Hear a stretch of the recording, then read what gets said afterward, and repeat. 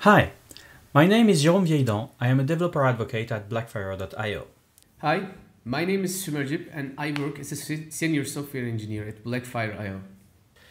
Today, I'll be showing you ways to make your applications incredibly fast.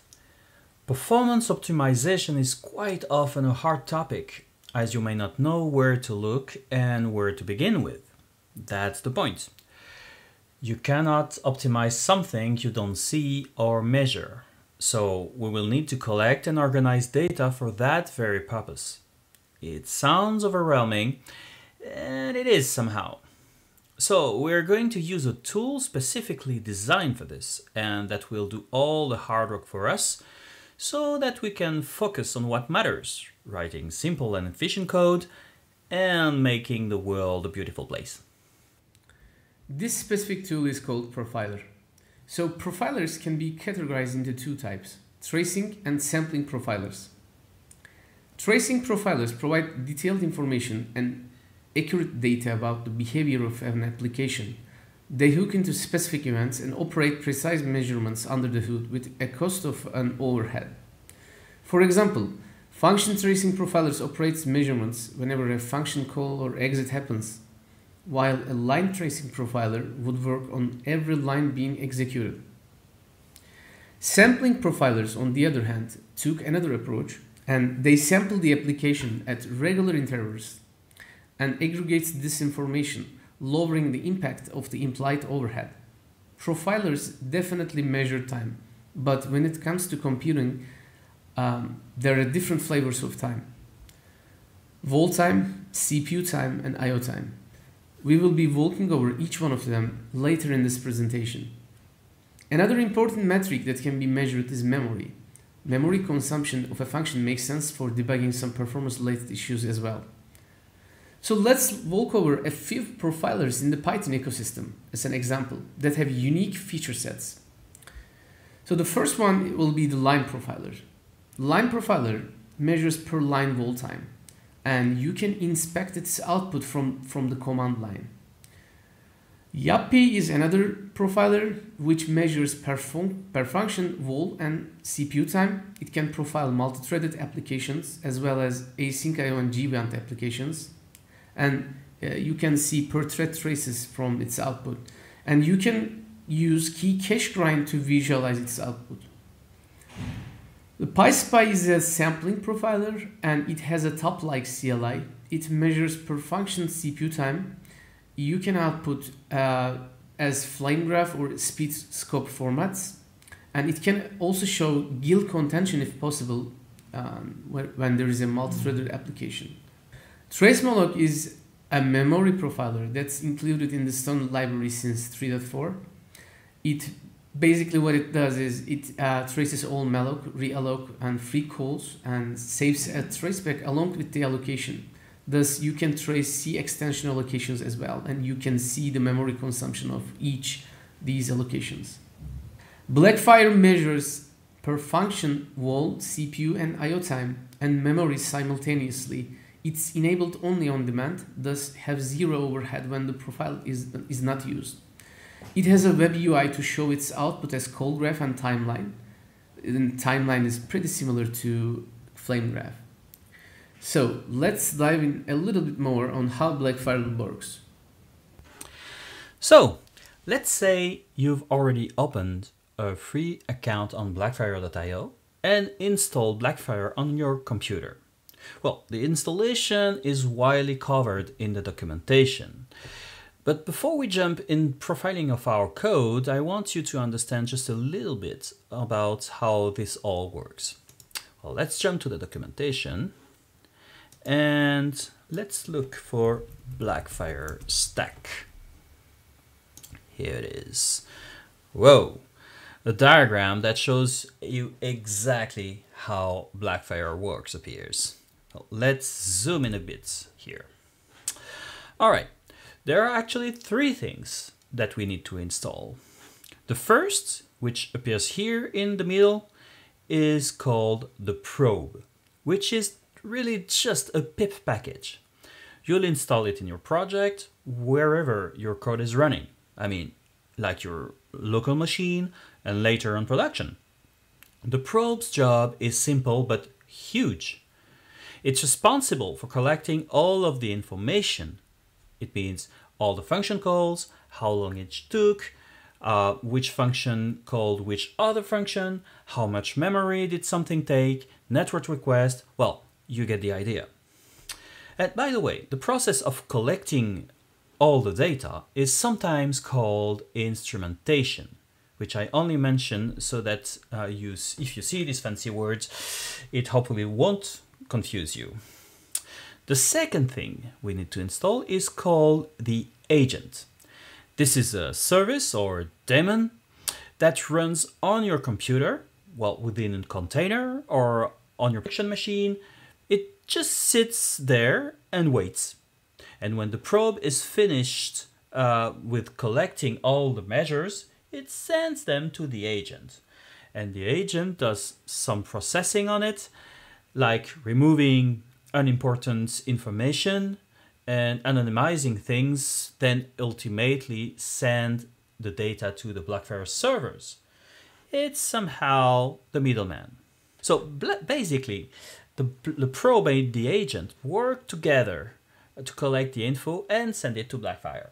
The last piece you need to install is a browser extension, which is sometimes called the companion. Remember, uh, the probe is not profiling every single request. It's always on demand. Normally, when a request comes in, the probe, well, yawns and does nothing. The browser extension's job is to actually activate profiling. It basically says, hey probe, wake up. I'm going to make a request and I actually want you to do your thing. You know, collect all the measures, etc. and send them to the agent. Cool? Well, text me when it's done. And that's it. This bottleneck fighting superhero trio is our ticket to performance glory. Well, next, let's see what they can actually do for us. All right, let's boot up a server to discover our application. But first, let's dive into our virtual environment for this. So I'm going, I'm using pipenv, so I'm gonna use the shell command. All right, we're set to go. Well, for running a server here, uh, instead of using the Python binary from my virtual environment, I'm going to use Blackfire Python. Uh, this command is actually a wrapper around your Python binary, which ensures that everything is set as expected. Well, it mainly instantiates the probe and asks it to wait for being asked a profile. So I'm gonna do this now. Blackfire Python manage.py, I'm using Django applications here, um, run server. All right, it seems that we're good to go. Let's copy this now and jump into the browser. Right, now you understand how important this project is. The world has been looking for the Bigfoot or Sasquatch for years. And thanks to the Bigfoot fanatic community on our site, Sasquatch sightings, we are closer than ever. In our case, better performance doesn't mean more profit, it means more Bigfoots. Do I know where the performance problems are? Nope, no idea. And honestly, I was too focused on getting the site to production to obsess over performance. That might not be the best idea, but still. Let's use Blackfire to find the bottlenecks, if any, to Sasquash them. So, we're ready to profile. Uh, but where should we start? Well, let's just click on the view details about a Bigfoot sighting. Um, and all this, all of this data comes from some data fixtures that we use to pre-populate the database while setting up the project. It uses a bunch of random data up here, and each sighting has a bunch of random comments. When we loaded the page uh, a second ago, Please note that the Blackfire probe did absolutely nothing. Um, because to activate it, you need to click on the browser extension, which I installed here. Oh ho, moment of truth. Let's click here. Well, there it goes. it goes from 0 to 100% and as it actually makes 10 requests and averages their data. We can also give this profile a name to keep our, our account organized. Well, let's say show initial sighting page. There we go. Now, well, in this top bar, we can also see the profile summary with the different dimensions on the profile. So here, the wall time, the I.O. time, the CPU time, the memory, external HTTP requests, and database interactions. We'll go into details uh, a bit later. Now just click on the View Call Graph button to go to a URL on their site, on the Blackfire website. Hello to our profile. Well, next, well, let's start try diving into this mountain of information and see how we can use use it to uh, find hidden Sasquatch, I mean, hidden performance bug. Yes, I know. The cool looking graph in the middle is calling to us. But let's start by looking at the left side. The list of function calls ordered from the functions that took the longest to execute on the top down to the quickest on the bottom. Well, actually, Blackfire prunes or removes function calls that took very little time, so you won't see everything here. The functions are ordered by time by default we, because we're viewing the call graph in the time dimension. Uh, you can also look at all of this information ordered by several other dimensions, like functions to uh, most memory. It's kind like it's kind of like the process manager on your computer. You can see which applications are currently taking most uh, CPU, most memory, reading most info from your disk, or even using the most network. But more on these dimensions later. In the profiling world, time is called wall time, but it's nothing fancy. Wall time is the difference between the time at which a function was entered and the time at which the function was left. So wall time is a fancy word for um, time, the amount of time a function took to run. So we just find the function with the highest wall time and uh, we just want to find it and optimize it, right?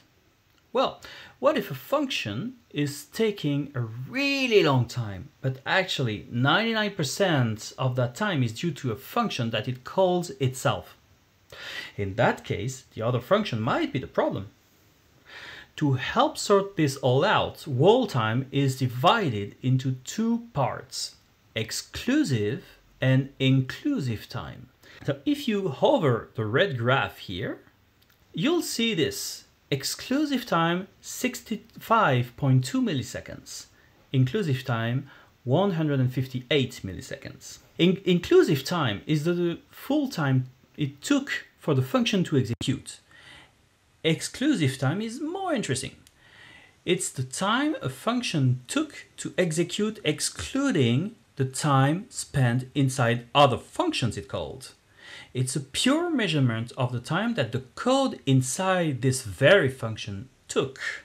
Well, right now, we're actually ordering this list by exclusive time because that usually shows you the biggest problems. Well, you can also order by inclusive time, which is probably not very useful here. The top item is the, where your script, our script starts executing, and second in the next function call and so on. So, well, back to exclusive. So, apparently, the biggest problem, according to exclusive time, is the initializer of the Django DB models base sighting class. Right, this matching one of, one of my model classes. And before we dive, we dive further into the root cause behind this slow function, the other way to order the calls is by the number of times each is called. So let's click here to, to change this order. Hmm, and apparently the function that's called the most time, almost 7,000 times, is built-ins.setattr. Hmm. I wonder who calls that. Oh, and I can also notice that, uh, well, that sighting initializer is also quite high on the list based on the number of calls. Could this be related? Well, first let's uh, click to expand the, the setattr function. Even though we're viewing the call graph in the time dimension, this gives us this, all the information about this function, the wall time, the I.O. time, the CPU time, and even the memory. Well, this isn't seem to be uh, a particularly time-consuming function. Well, all is relative, of course, but its exclusive wall time is around 26 milliseconds. Uh, compared to the whole wall time, it looks uh, uh, quite minimal. And wall time itself is broken into two pieces. Uh, and this is actually important. We have the I.O. time and the CPU time. There is nothing else. Either a function is using CPU or it's doing uh, I.O. operation like talking to the file systems or making network calls. Well, uh, it seems to be broken into two parts, but most of the time is seems to be spent in the CPU time. Okay, but who actually calls this function so many times? Above this, see the those down arrow buttons? These represent the three other functions that call this one. The side is relative to how many times each one calls this. Let's click the first one. Aha!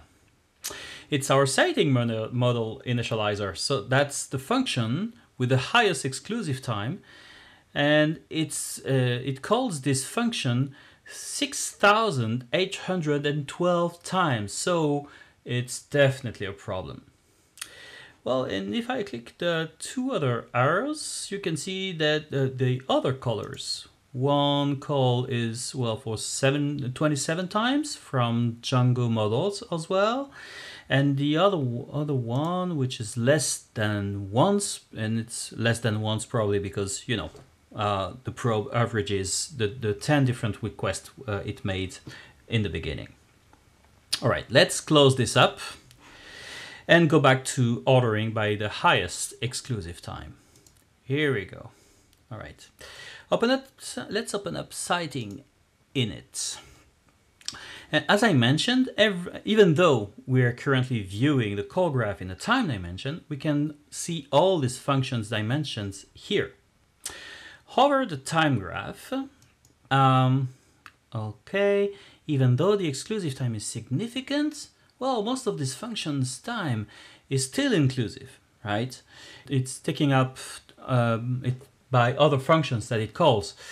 That may give us a hint as to if the problem is inside this function or is inside something it calls.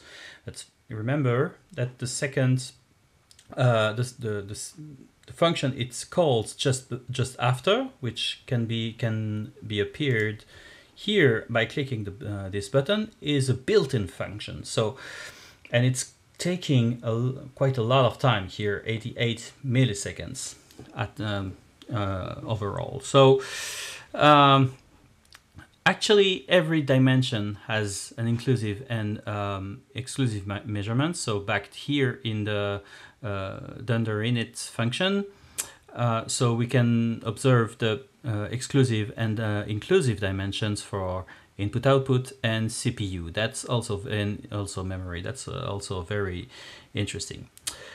All right. Um, what I really want to know though is what's happening in our code to cause this function sighting dunder init be called so many times. So to figure this out, let's click on the biggest arrow above. Aha! It's our Bigfoot models comment dunder init, which seems to be the main culprit. But honestly, I'm not sure how these two functions interact together. So next, let's use the call graph, you know, this pretty diagram on the right, to get a full picture of what's happening and how to fix it. There are two different ways to optimize any function either optimize the code inside that function or you can try to call the function less times. In our case, we found that the most problematic function is Django DB models based sighting dunder init dunder function.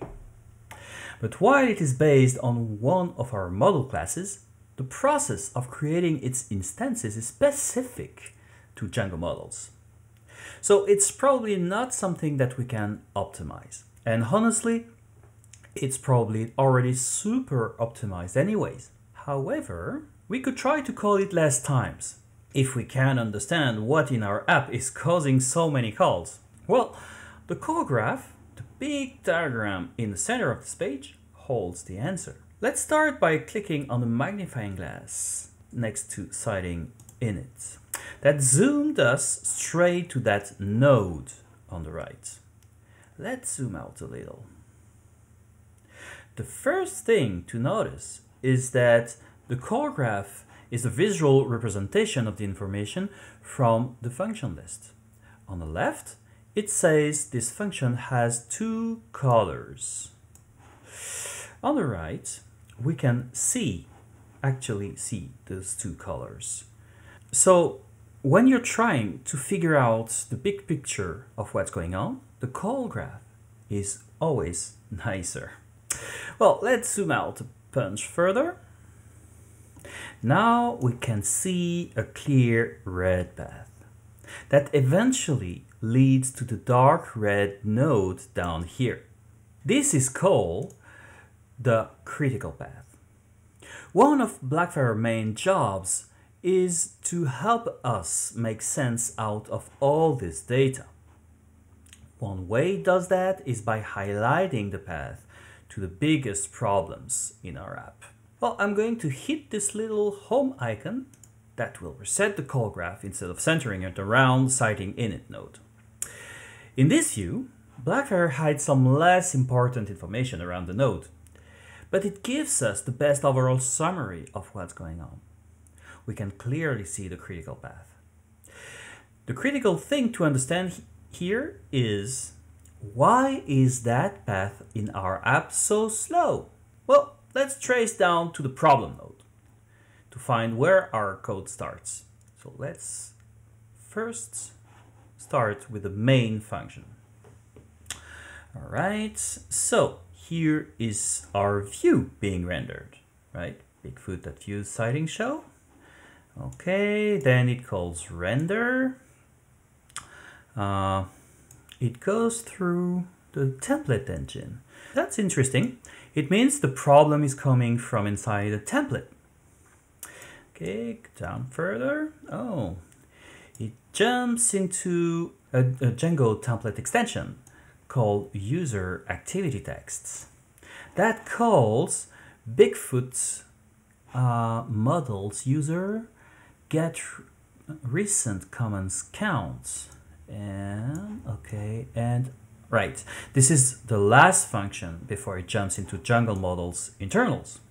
So the problem in our code seems to be something around this user activity text stuff. Well let's open up the sighting show view. Let's open up the code. Okay it's pretty straightforward and it's rendering this sighting show.html template.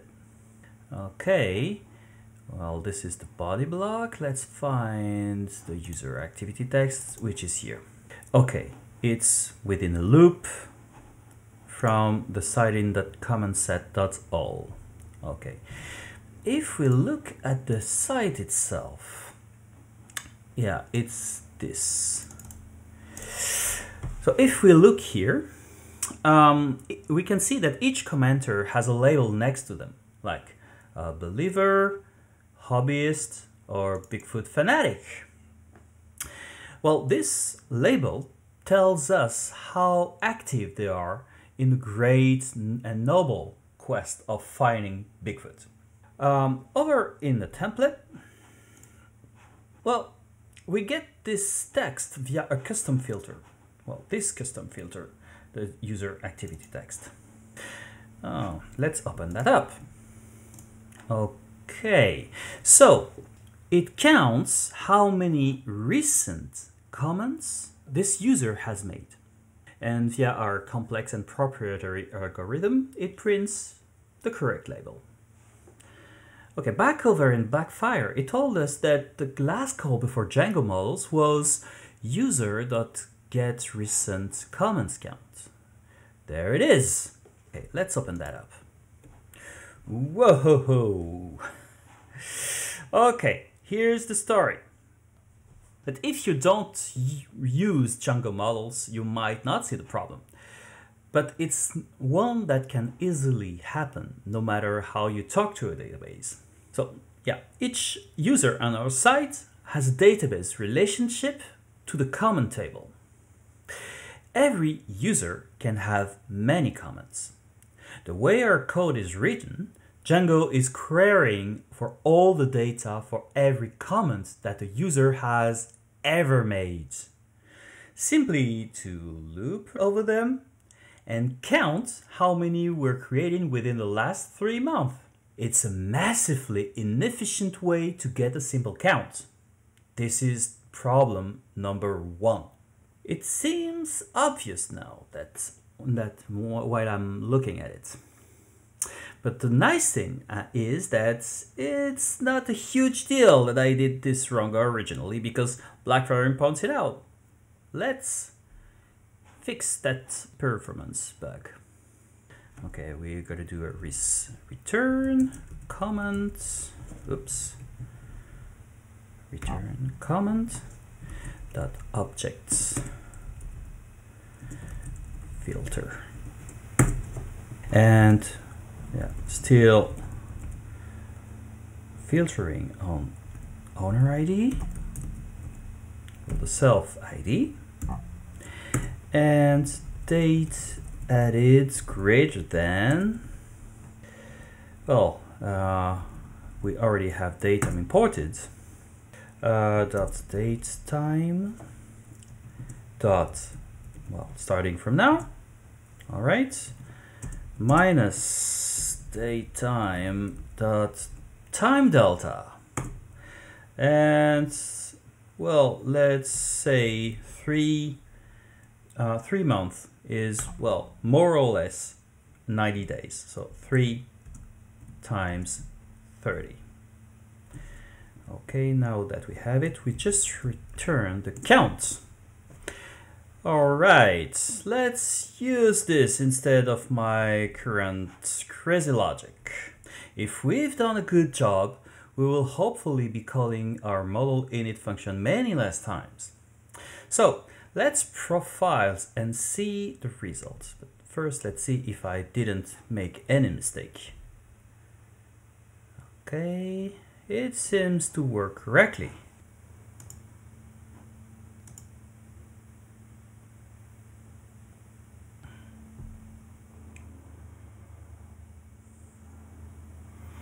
Alright, it looks a little faster. So, well, in order to see what impact I could have, we're going to use Blackfire's comparison feature to prove that this change was actually good. We've just updated our code to make a count query instead of querying for all the comments for a user just to count them. So the patch would be definitely faster, right? Are we absolutely sure? Well, I think it is faster, but sometimes making one part of our code faster will make other parts slower. Fortunately, Blackfire has a special way to prove that a performance tweak does in fact help.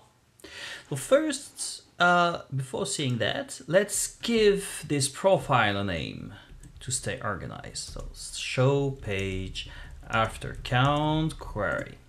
All right, now let's go see the call graph. Hey, it's, well, 580 milliseconds. The last one was 754. So it is faster, we win. Well, yeah, I agree. It does look faster, but an important aspect of optimization is understanding why something is faster. Like, did it reduce CPU time, IO wait time, and maybe more importantly, did this change cause anything to be worse? For example, a change might decrease CPU time but increase memory. And if that happens, well, would the change really be a good one? Well, it depends. Well, this leads me to one of my favorite tools in Blackfire the ability to compare profiles. So let's click back to our dashboard. The two profiles on the top are from, um, well, the initial profile, then the page after using the count query. On the right, we can hover these compare buttons. So, okay, click the first one. This was the original and click the second one. And say hello to the comparison view. Everything that's faster or better is in blue. Um, well, in if anything that's slower or worse, it will be red. And yeah, it looks like the new profile is better in every single category. Good. And anyway, um, this comparison proves that this was a good change. Really, it's a big win. And on the call graph, the darkest blue, the critical path this time, is the path that improved the most. Now, let's look for the sighting dunder init function that was causing all the pain. Well, well, it is the inclusive time is down to um, down by 150 millisecond, 150 milliseconds, and the memory even plummeted. But okay, right, wait a second. Uh, on the top, one of the items is called SQL queries. Oh, let's click on it. Oh, yeah. The total query time is less than before. Well, less by 1.2 milliseconds, that's negligible.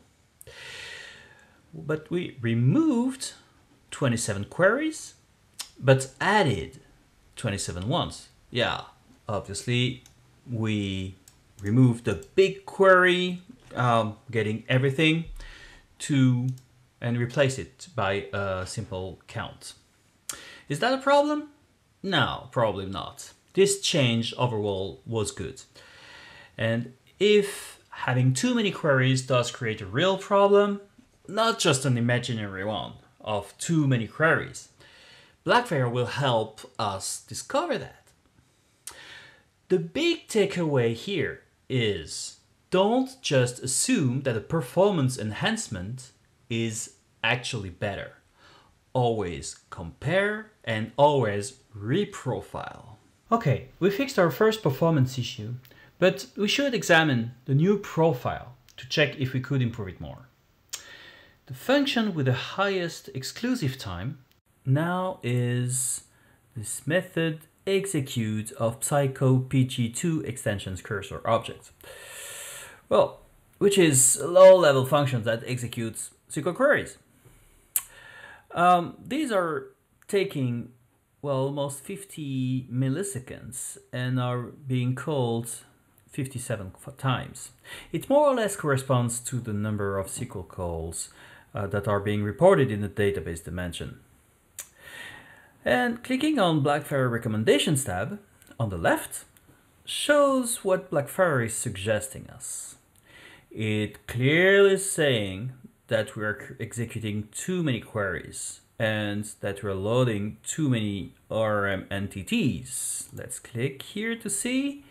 Yeah, it's basically telling, telling us to reduce the number of SQL queries and how to do it. Um, and the same for ORM entities. Here mentioning um, the Django models objects we are loading. All right, it's not an ideal situation, but is it worth fixing? I guess it depends on how much you care. and whether the fix would be easy or if it would add a lot of complexity to our app. Okay. But when you're trying to identify where the problem is, there are two ways to look at the call graph. First, you can read from top to bottom like we did before. Trace through your whole application flow to figure out what's going on down the hot path. Or you can do the opposite. Start at the bottom, start where the problem is, and trace up using the critical path again to find where your code starts. Well, here again, I'm going to start from the top. All right, the main function, and then we can see Django is booting up. It's loading all the middlewares.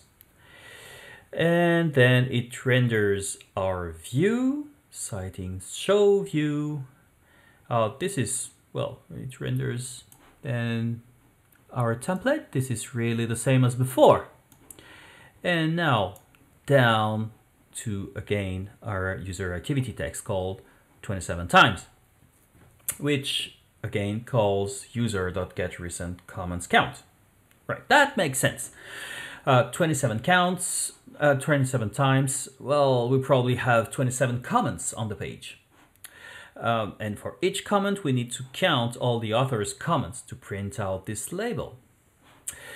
Before we think about if and how we might fix this, let's back up and look at other dimensions to this profile.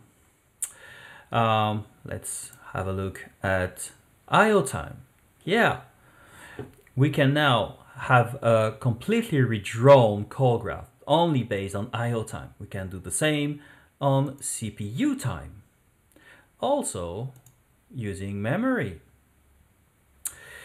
Um, okay. When we look at this IO time dimension, the psycopg2 execute function, the function that makes SQL calls, shows up here as well as a big problem. The point is, while wall time is typically the first dimension you're facing, don't forget about these other ones. They can give us more information about what's going on. Is a function slow because of inefficient code? Or is it, for example, because of a network call? Or is it some I.O. problem? Maybe you, you have an issue with your SSD or your hard disk. As we already discovered, the problem is coming from the user dot get command uh, count get user command count that we had in the wall time view. Okay. Here, there, and there. Okay.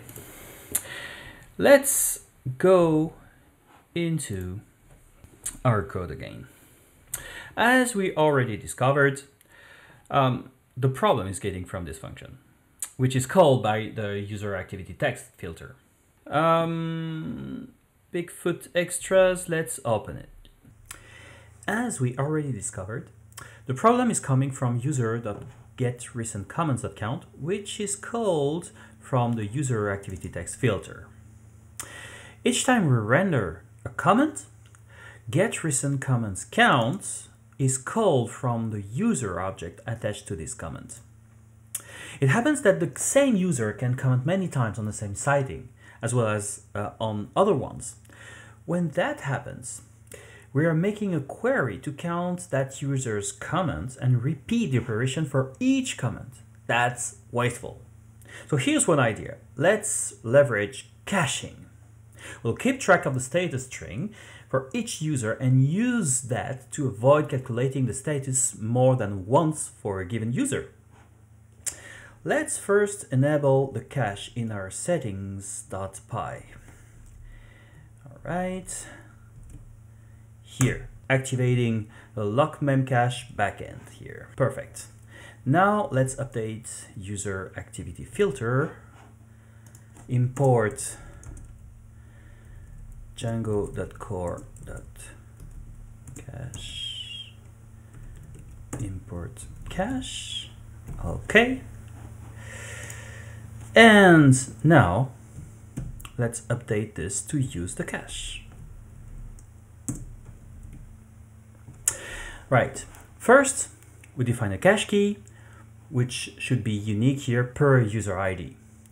We then get the comments, uh, uh, the comment count from the cache and if it's none, then we compute it and add it to the cache for one hour. That looks there. Okay, I just refreshed and reprofiled the page. This time, things look way better, but let's not trust it. Let's go compare the original profile to this new one. Okay. The changes are significant, and there doesn't seem to be any downsides to the changes we made. And the SQL queries count dropped by 27, which was expected. And really, this is no surprise. Full caching things will, of course, be faster. But the good thing here is that the user activity text cache is now distributed. I mean, each user being able to comment on all sighting pages, well, their activity text will be reused everywhere they're commenting. And yeah, I think that's quite a big win. The most common mistake that is done during performance optimization is premature optimizations, as Knuth states. We should be measuring our code, if possible, even in all development steps, from development to production. So using a tool for this very purpose is key. Although there are no common rules to fix all kind of performance related problems, here are some guidelines for debugging and fixing performance issues. The first one is obviously measure and always is better. Use, using a tool for this is key, like I said. The, the second one might be um, you should be focusing first on architecture, design, and algorithms rather than doing some language level micro optimizations. A simple performance problem can open you a new ways of refactoring your architectural code base and make it even better than before. And during development, check if there's a standard library that function that accomplish what you are trying to do or what is the best practice for your case. Although this might seem very simple, we as developers may waste time because of not checking the documentation properly or not looking for best practices of the framework. And if you really need performance at the end of the day, there are numerous tools for that.